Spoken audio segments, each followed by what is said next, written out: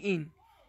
So Edgar Lungu, you see the president you wanted. You see you stupid PF. You see what type of idiotic nonsense you have put us in as Zambian people.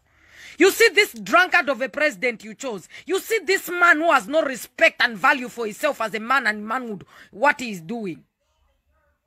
And all the Zambian people who have been supporting are quiet. Where's Wakaunda? Where are the people who have been fighting for Zambia? Everything you went through to get independence from the British people, you go and give it to the most ruthless human being in the world, Chinese people. Chinese people. Your friends are, are shooting Chinese out of their countries. You people are hugging Chinese like idiots. Edgar Lungu. At what cost are you going to make our country perish? As a president, at what cost? At what cost? You're arresting Chela. Arrest Biflo. Arrest me. Arrest everybody that stands up for their human right and equality and what they believe is right. We have a Zambian constitution. I think people need to go back to the constitution.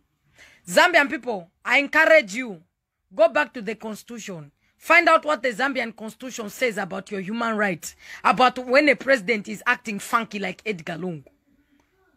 May the soul of Vasata rest in peace. Vasata, what kind of animal did you leave for us as the Zambian people? Vasata, what type, how did they choose by, by, by Edgar Lungu to be our president?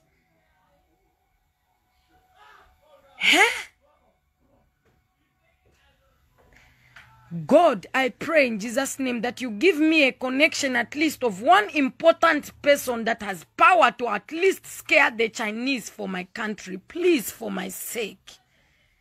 For my sake, Jesus, send all the Chinese people away from my country. For my sake, the sake of my people. It's time to pray over each and every African nation. And it's time for each and every African nation to rise against the oppression of the Chinese. Why are you arresting Chela?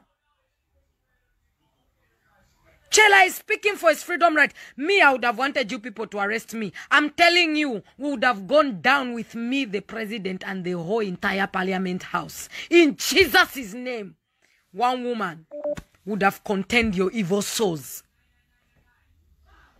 By Edgar Lungu, you are a shame to Zambia. By Edgar Lungu, you are the most disgraceful, disgusting president we've ever had in Zambia. By Edgar Lungu, shame on you. What goes around comes back around. The pot you are preparing for the Zambian people, it is you who is going to burn it in it. I declare right now in Jesus' name. All your wicked ways and what you are doing to the Zambian people, you will fall and bow down to the knees of the Most High. As long as you are just a man and you only work with testosterone, a mind and a brain, you do not function with the Holy Ghost and the Holy Spirit of what God functions by. By Edgar Lungu, you will fall. You be the president people are going to laugh at. You drink shake shake you by Edgar Lungu. God will show you. He will humble you. The pain you have caused the Zambian people. The shame you are causing the Zambian people.